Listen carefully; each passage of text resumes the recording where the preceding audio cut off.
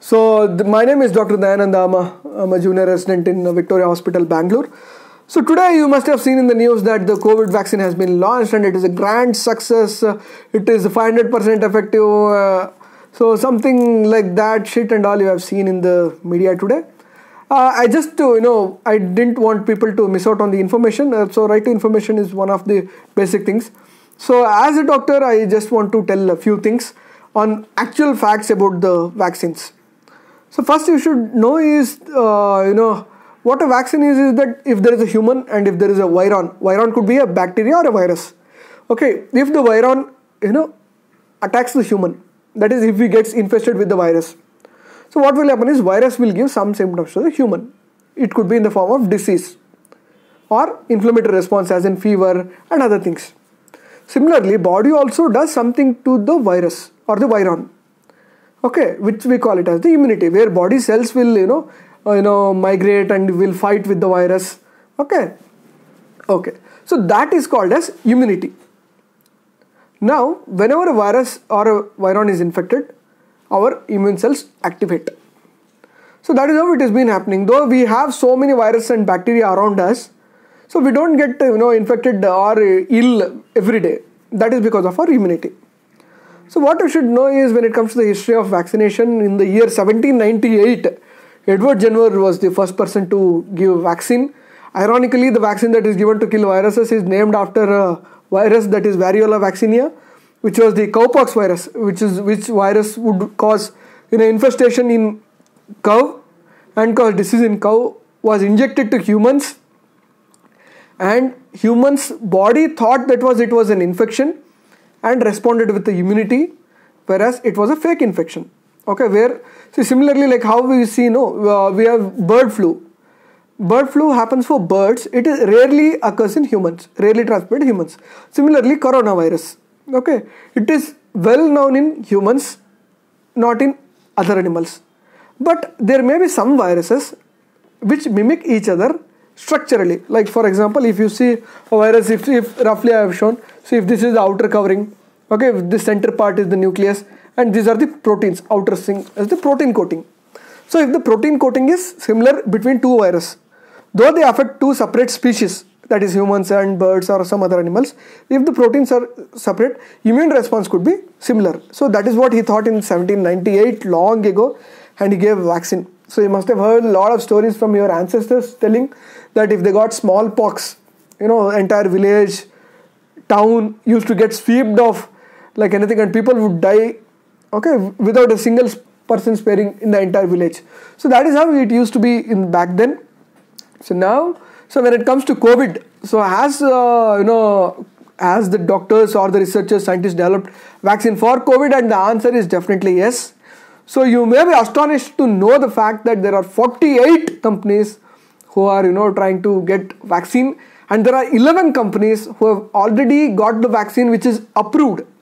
So the vaccine that India has got is uh, Bharat Biotech uh, you know vaccine that is the Covaxin and the Covishield. Covishield is again an Italian company, Italian UK collab company. So that is Covishield which was which I just got uh, today. Uh, so that is uh, Covishield.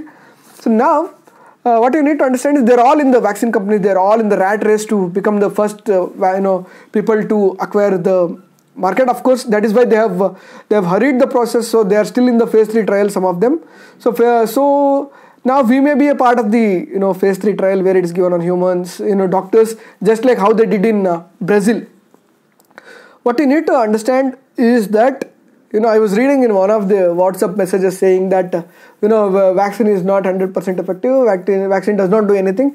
You need to wash your hands safety everything you should do. So vaccine is not at all effective. It is like a mafia from the drug company something like that. So all these sorts of messages you will get. So you need to ignore all that okay? What you need to understand is that so whatever india is giving two vaccines is it the best vaccine in the world? And the answer is no it is not the best vaccine.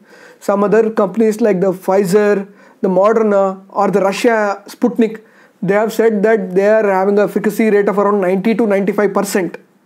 So quite efficacious when compared to 60 to 75 70 percent of the vaccines that are approved in India. But the next question that comes is, uh, you know, is it the worst vaccine?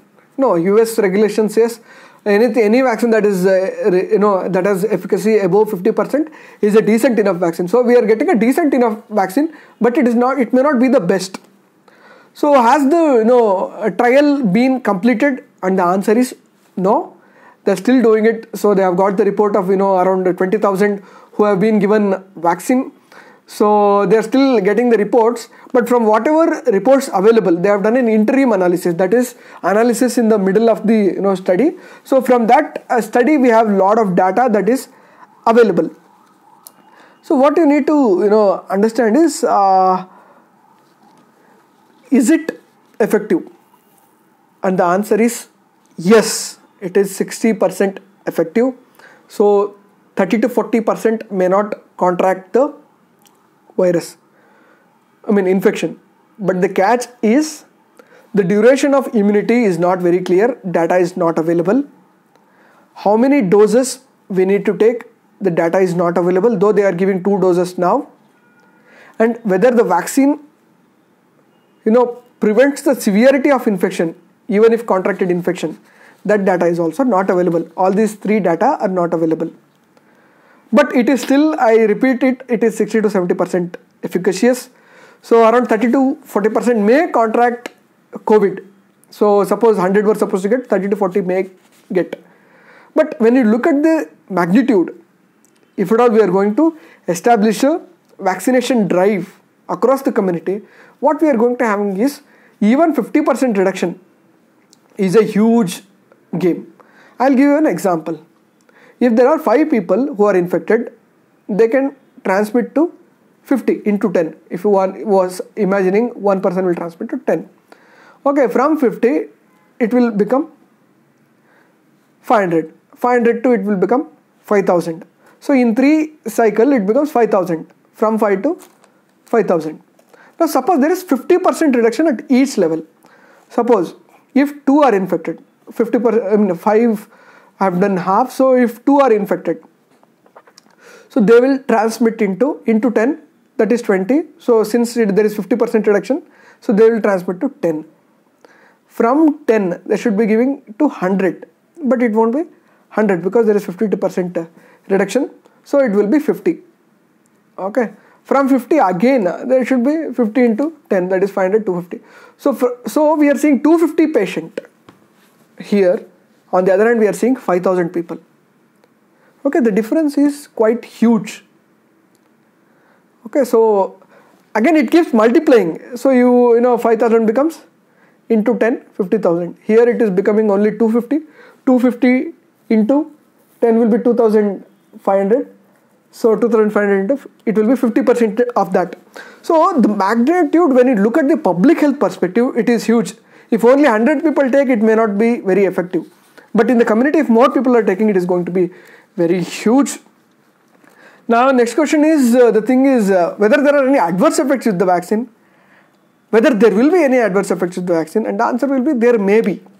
Okay, even the simple tablet that you take, uh, like for example, paracetamol for cold or fever, you know, one in 3,200 people who takes crocin tablet can have adverse effect. Even one tablet that you take for common cold can have adverse effect if taken for 1 in 2000 people which you are less aware okay? Likewise even vaccines may have adverse effects but the magnitude will be very minimal from whatever data we know of you know 10000 people. So there are no deaths uh, related to vaccine. There are only rumors with respect to some neurological complication but the official data does not say so. So all the adverse effects are very minimal. So adverse effects will be there but they will be minimal Efficacy, it is not 100%, but it is decent enough. These two questions I have answered. Next question is how do I feel now? Okay, how is it given now? Now it is given where you have to you know enter the. Now it is given for health workers. For health workers, they have to they take the pre data already which we have submitted. So you have to go there early. You have to sit there for half an hour. Then you will have to show your ID card with with the number either PAN or Aadhaar card. Then they will uh, take you to the injection room where they will give a you know 0.5 ml of the injection at the deltoid muscle intramuscular within the muscle they will pierce the needle and give which is a muscle here deltoid is a muscle on the you know arm here on the side of the arm So they will give that. Then they will observe you for half an hour. Now they are observing uh, for half an hour to look for any side effect. That is how it is given. So next question that comes is main question that comes is whether you should take. And uh, the answer I leave it to you guys, so you can choose. Just make sure that you share uh, you know this video with all of your friends so that you know information gets uh, transferred. Actually you know from a doctor's point of view who's i mean scientifically speaking knowledge should be shared across. So this i just request you to share with your friends. If you have any doubts you can you know leave a comment. The video is mainly for all the non-medicos who are not aware and are watching uh, you know news channels or something for information do share like and comment. Thank you